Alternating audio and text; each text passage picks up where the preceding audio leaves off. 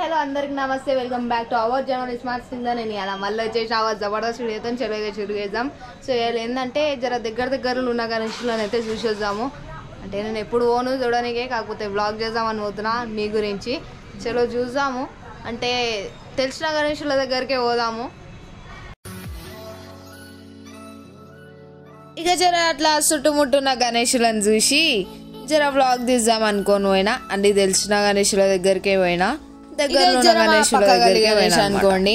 జబర్దస్త్ పెట్టినరు ఎప్పుడు అన్న వాళ్ళు మంచిగా పెడతారు. ఇక మూడు పులిల మీద గణేషుడు వస్తున్నట్టు ఏం హైలైట్ ఉన్నాడో చూసిండ్రా గణేషుడు. ఇక ఈ అన్న వాళ్ళు ప్రతి సంవత్సరం జబర్దస్త్ చేస్తారు డెకరేషన్ ఇట్లా ఇక ప్రతి ఒక్క ఇంటి నుంచి పైసలు వేసుకుంటా ఇంత పెద్ద గణేషుని పెడతారు. ఇక యూనిటీ అలాగ ఉంటుంది అనుకోండి ఓల్ సిటీలా అందరు కలిసి అరే అందరం కలిసి చేద్దాము అన్నట్టు కూర్చొని మాట్లాడుకొని చేస్తారు. గట్టిగా పైసలు ఖర్చు చేస్తారు బై. అంటే దేవుని మీద ఖర్చు చేసేటట్టయితే ఇంకా దేని మీద ఖర్చు చేయరు. అన్ని పైసలు ఖర్చు చేస్తారు. అండ్ భరోసా అనేది ఉంటుంది ఓల్ సిటీ వాళ్ళకి. ఓల్ సిటీ వాళ్ళకే అని కాదు ఎవరికైనా భరోసా ఉంటుంది దేవుని మీద. అందుకే పైసలు పెడతారు. చిన్న చిన్న పోరలు కూడా ఇక మస్తు అంటే మనసు మీద తీసుకుంటారు. అరే ఇట్లా చేయాలరా భయ్ ఆనకన్నా మంచిగా ఉండాలా మన జులూస్ అని. మన గణేషుడు హైలైట్ ఉండాలా గల్లీలో అందరు మన దగ్గరకు వచ్చి చూడాలా మన గణేషునికి అన్న రెస్పాన్సిబిలిటీ ప్రతి ఒక్క పోరానికి ఉంటుంది. ఇక చిన్న చిన్న పిల్లలు కూడా మంచి మీద తీసుకుంటారు అని చెప్పినా కదా. అట్లానే చాలా మంది పిల్లలు అంటే మస్తు టెన్షన్ ఉంటారు. అరే ఇంద్రబాయ్ బండి ఎడికెళ్ళి తేవాలా ఇట్లా పెట్టాలా? అసలు పైసలు ఎట్లయితే ఈ లడ్డు వేలం పాట పెట్టాలా బ్యాండ్కి ఎట్లా? అరే ఏందిరా ఆయన అన్నట్టు ఉంటుంది. డెకరేషన్ మనం ఎట్లా చేద్దాం? పక్కనోడు ఇట్లా చేసిండు. అరే మనము ఇవి వేస్ట్ అవుతున్నాయి దీన్ని రీసైకిల్ చేద్దామా లేదా? కొత్త తెచ్చి పెడదాం. అది మస్తు ఆలోచన ఉంటుంది. చిన్న చిన్న పోరడు కూడా పెద్దగా ఆలోచిస్తాడు. ఎందుకంటే గణేశుని పండుగ అట్లాంటిది. ఇక ఈ గణేష్ చతుర్థి అంటే ఈ తొమ్మిది పది రోజులు పిల్లలు మస్తు కష్టపడతారు. రాత్రి పూట నిద్ర లేకుండా ఏం లేకుండా. మళ్ళా ఇంకో టెన్షన్ ఉంటుంది. అరే ఇది అయిపోతుంది మళ్ళీ నవరాత్రి వస్తుందిరా భయ్ నవరాత్రికి ఏం చేద్దాము అన్న ఉరుకులాట దబ్బునుంటది ఓల్డ్ సిటీలో ఎట్లుంటుంది అంటే ప్రతి ఒక్క పండుగని అంగరంగ వైభవంగా జరుపుకుంటారు అనుకోర్రిగా సో ఏ పండుగకి తక్కువగా ఎక్కువగా అట్లా ఉండదు. ఇక అన్ని బరాబర్గానే చేసుకుంటారు. జర బిందాస్గా ఉంటారు ఎంత లేట్ అయినా పర్వాలేదు. కాకపోతే మంచిగా చేద్దాము అన్న ఆలోచనతో ఉంటారు అందరూ. ఇక ఈ గణేషన్ దగ్గర మక్కన్ పైల్వాన్ అన్న వచ్చిండ్రు. అండ్ మేమందరం మస్తు ఖుషిగా ఫీల్ అయినాం. మా అన్న వాళ్ళు బి మస్తు ఖుషి అయిపోయినరు ఇక మొత్తం హల్చల్ ఉంటుంది ఓల్ సిటీలోనైతే గణేషన్ పండుగకి. అండ్ ఒక్కొక్కళ్ళ ఎనర్జీ లెవెల్స్ అసలు అలా ఉంటుంది. మొత్తం జబర్దస్త్ ఉంటుంది అనుకోండి. అసలు దేవుడు ఆ ఎనర్జీ ఎట్లా ఇస్తాడో తెలియదు కానీ మొత్తం డ్యాన్సులు ఇన్సులు చేసుకుంటా మంచిగా ఊరేగింపు తీస్తారు. ఇక ఇక్కడ నుంచి ట్యాంక్మౌంట్ వరకు అయితే ఫిఫ్టీన్ కిలోమీటర్స్. ఇక అదంతా డ్యాన్స్ చేసుకుంటా మంచిగా ఊరేగింపు తీస్తాము. ఇక జోష్ అలాగే ఉంటుంది అనుకోండి. గణేశుని బ్యాండ్లో అసలు అందరు డ్యాన్స్ చేస్తారు. చిన్న పెద్ద అనేది ఉండదు. లేడీస్ మెన్స్ అనేది ఉండదు. ప్రతి ఒక్కరు మంచిగా ఈ పండుగను ఎంజాయ్ చేస్తారు. ఇళ్ళల్లో అసలు మగపిల్లలు అమ్మనైనా చెప్పిన పనులు బి చేయరు. కాకపోతే ఈ గణేశుని గాడికి వచ్చేస్తే పక్కా చేస్తారు. ఇక ఊగుతారు కడతారు లైట్లు ఇట్లు.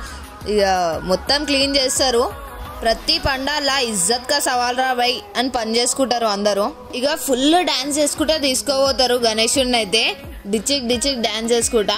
ఇక ఫిఫ్టీన్ కిలోమీటర్స్ అయితే ఖాళీ నడుచుకుంటా పోతారు. అసలు ఆ దేవుడు ఎట్లా ఇస్తాడో అంతగానం శక్తి. మళ్ళా ఖాళీ టైంలో నడుచుకుంటా ఓరా ఒక కరేపాకు కట్టదేపో ముంగట్కెళ్ళి అంటే నేనెందుకు పోవాలా అంటారు.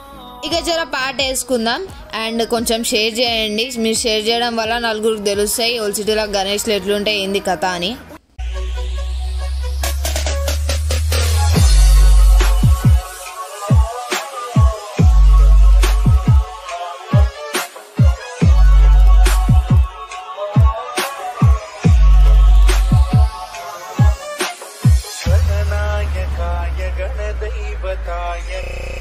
गणदैवताय अध्यक्षाय